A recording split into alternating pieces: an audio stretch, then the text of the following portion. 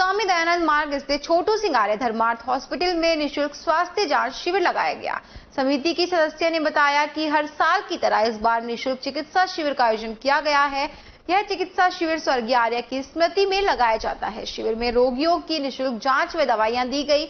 इसके अलावा गंभीर बीमारियों के लिए रोगियों को परामर्श दिया गया आर्कन्य विद्यालय समिति के संस्थापक अध्यक्ष और आर्य समाज के एक वरिष्ठ नेता आदरणीय श्री सुशील सिंह जी आर्य के उन्नीस स्मृति में हम ये आयोजन करते हैं प्रति नाम हम उनके नाम पर शत्रुघ्न सेनानी निर्माण हॉस्पिटल है उसके अंतर्गत ये शिविर लगाया जाता है जिसमें कि सभी प्रकार के लोगों की जाँच की जाती है और जो लोगों को बहुत परेशानी रहती है जो जाना नहीं रहती है हॉस्पिटल में साधारण आदमी वो आराम से यहाँ आके अपने डॉक्टर्स को दिखा सकता है, परामर्श ले सकता है और साथ ही साथ कोई दवाइयाँ दी जाती हैं।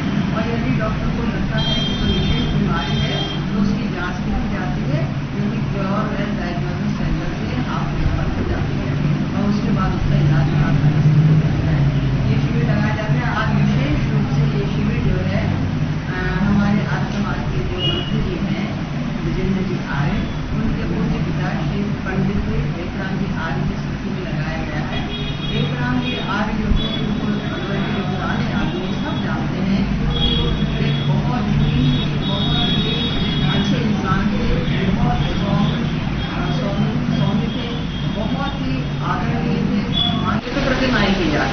आज थायराइड की भी पिछले माह भी की गई थी थायराइड की।